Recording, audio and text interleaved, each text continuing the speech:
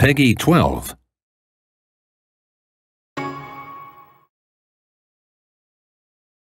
I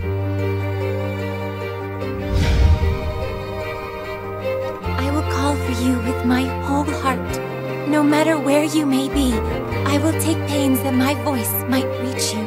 It may not be possible in this age, but if this passion is handed down, then perhaps one day hope that you'll allow me to accompany you to the very end.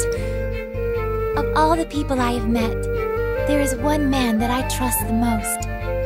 That man is you. You are my knight.